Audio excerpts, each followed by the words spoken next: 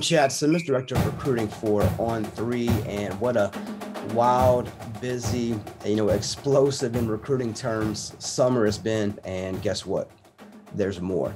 Uh, more is on its way, and it starts really again uh, later this week. I think two big time names committing on June 14th are four star linebacker Tony Rojas and four star running back Daylon Smothers. And starting with Rojas, you know, he's a linebacker from Virginia, has it down to Clemson, Georgia, Miami, and Penn State. And I think for most of his recruitment, uh, I've liked Penn State here. And I think Penn State uh, has done a great job building that relationship with him, those close to him, and showing the plan they have for him to fit into their defensive scheme. I think Clemson was a competitor late spring, early summer. Georgia became that threat early to mid June. I think Penn State has held all those schools off, and they're in line, I think, for a big time commit uh, later this week from one of the more, I think, athletic linebackers in this class.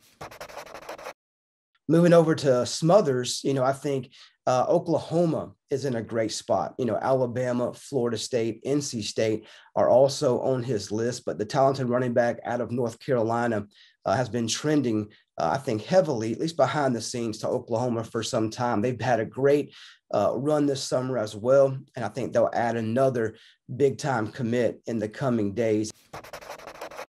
Going into the weekend, there's some big time commits that'll be involved in the Future 50 uh, down in Bradenton, Florida. Uh, on Saturday, top 100 linebacker Troy Bowles, you know, father Todd Bowles, head coach for Tampa Bay Buccaneers, is down to Oklahoma.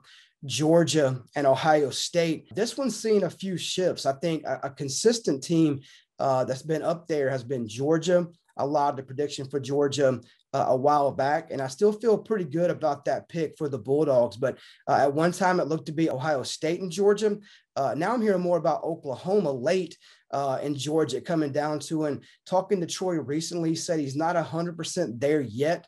Uh, with his decision, but he's very close. I think it comes down to Georgia, Oklahoma. I give the edge still uh, to the Bulldogs for for Troy Bowles.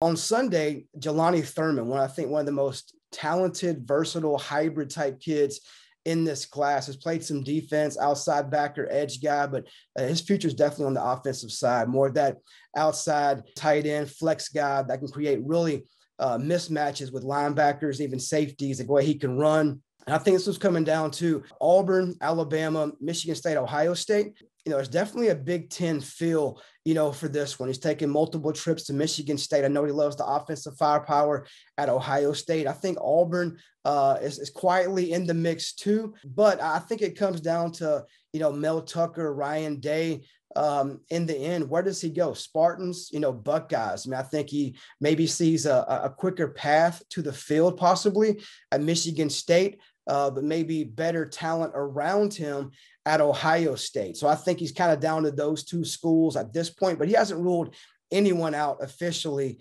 just yet. And then looking ahead, I think to next week too, Jamaal Jarrett, uh, four-star defensive lineman from Grimsley High School in North Carolina, Auburn, Georgia, North Carolina, the three finalists there. Uh, he's a kid that uh, I think appear higher on recruiting lists than he does maybe in his ranking. He's a guy that teams covet to kind of build around on that defensive front, being a monster in that 6'5, 6'6, 350 pound range that can move athletically. Some schools liked him on the offensive side early on. They've all shifted that to the defensive line side. Now, as he makes his decision. I think it comes down to North Carolina, the in state school, the school that offered him first before anyone else, the school he grew up a fan of. He's visited Chapel Hill more than any other college campus. And then they're going to think against Georgia. Uh, Georgia's trying to use that Jordan Davis factor, you know, taking him from North Carolina at Mallard Creek High School, building him into a first round draft pick on the defensive line. So I think it comes down to relationships at UNC and Chapel Hill and just that comfortability.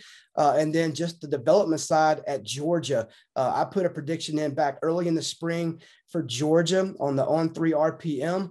Uh, I still feel good about that prediction, but I don't think he's made that final call to those coaches just yet. But I like where Georgia sits heading into next week.